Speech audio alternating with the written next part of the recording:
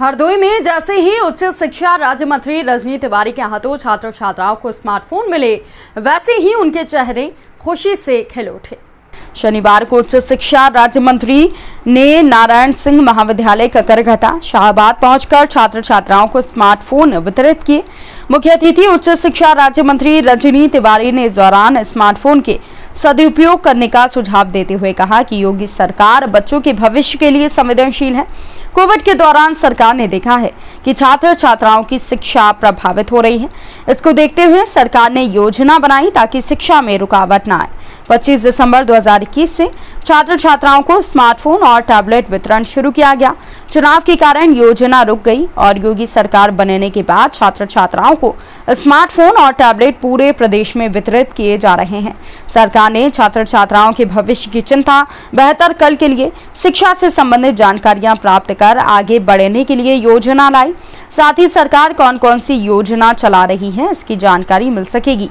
छात्र छात्राओं को कहाँ फॉर्म डालना है, कौन सी नौकरी निकल रही है, स्मार्टफ़ोन और टैबलेट के माध्यम से जान सकेंगे।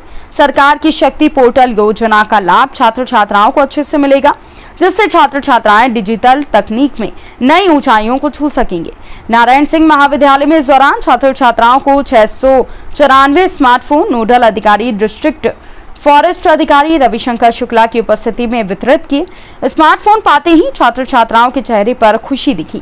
छात्र छात्राओं को स्मार्टफ़ोन वितरण के दौरान मुख्य अतिथि, उच्च शिक्षा राज्य मंत्री रजनी तिवारी, नारायण सिंह महाविद्यालय प्रबंधक रंजीत सिंह, नोडल अधिकारी रविशंकर शुक्ला, एसडीएम शाहबाद सौरभ दुबे, शरद सिंह के साथ ब्लॉक प्रमुख त्रिपुरेश मिश्रा आदि लोग उपस्थित थे।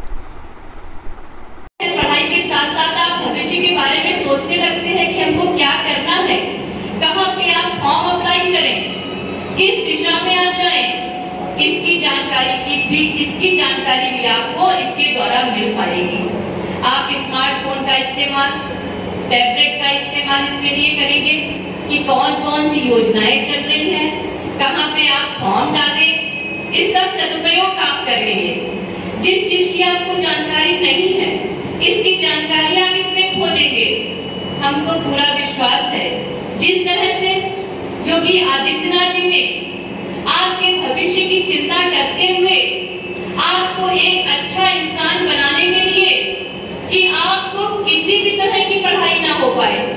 जो शिक्षा आप चाहते हैं, जिस तरह की चाहे आर्ट का छात्र हो, चाहे साइंस का हो, चाहे कॉमर्स का हो, चाहे तकनीक का हो